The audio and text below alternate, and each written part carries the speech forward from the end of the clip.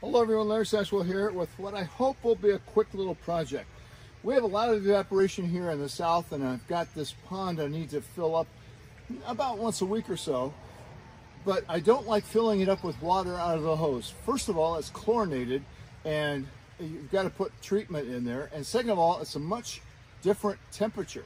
So I'm going to fill, make this little black barrel here a uh, water reservoir I've always before just had it next to the pond, just poured it in, really ugly looking. But today I'm going to add this spigot to it at, at the bottom and hide it over here underneath this tree. Then I just need a short hose and I'll have water ready that's uh, the chlorination has evaporated out of it and it'll be ready. You may have to do a little bit of digging. I went both to my Ace Hardware and to the big box store and I already own this, a little half inch water uh, turn on, I don't know what you call this. Anyway, spigot I think.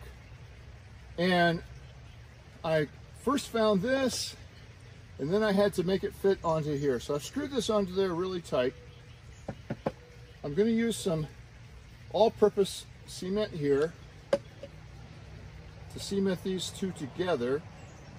My cement's getting a little bit on the old side, but I think it'll help. Uh, it'll work here.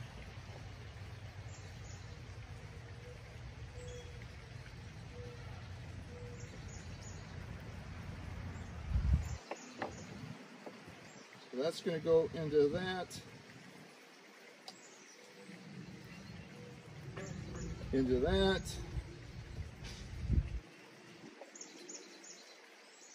Compress all that down clean it out here with a little bit of a rag.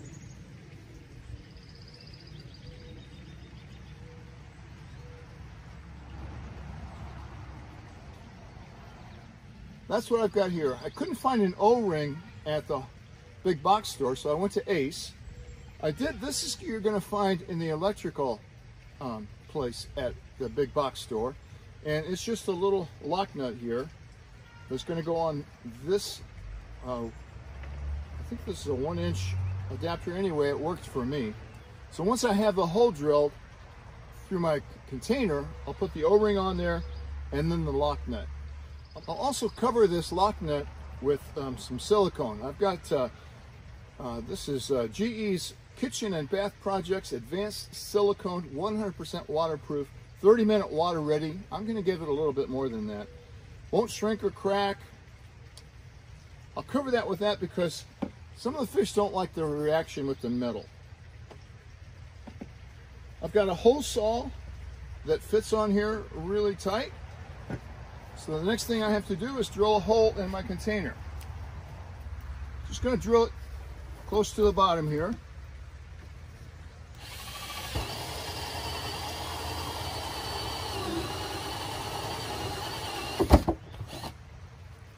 Really easy to do.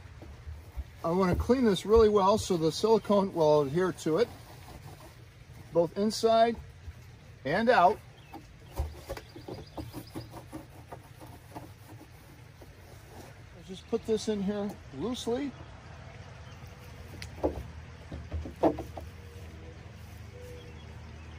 Put the other O-ring on it. That'll actually help hold this on a little bit.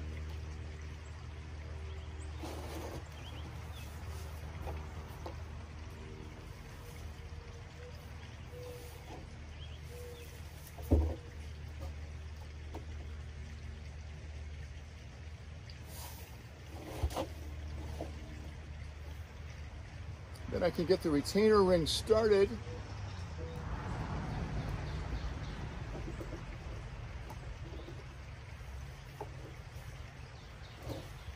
And once that's started, I can put a nice bead of this silicone all the way around it.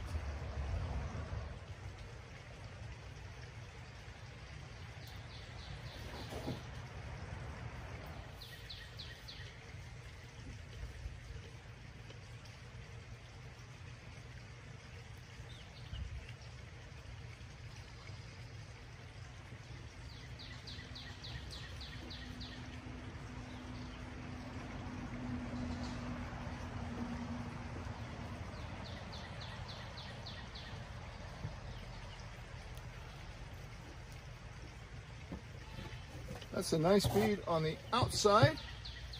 Now I'll dive in here and do it on the inside.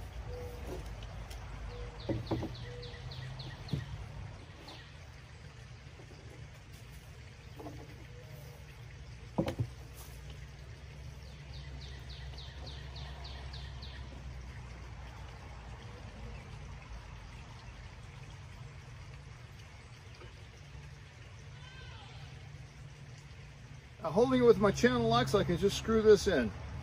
I want to make sure I got it up right.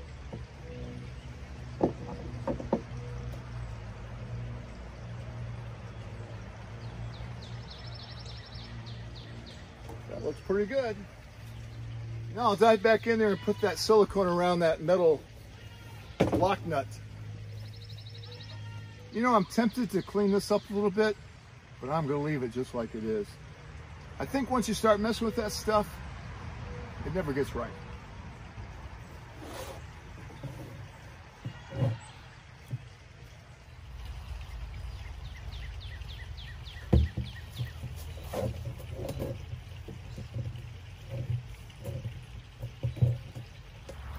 I've got a piece of screen and the locking mechanism for the top here, so I'll put that over the top. This will keep the mosquitoes and the leaves out of this. And there it is. Concealed back in here. It's well hidden back here. And it looks a lot better than it used to. So all the thing, only thing I need to do now is to wait for that silicone to set up. And then I can add it full of water.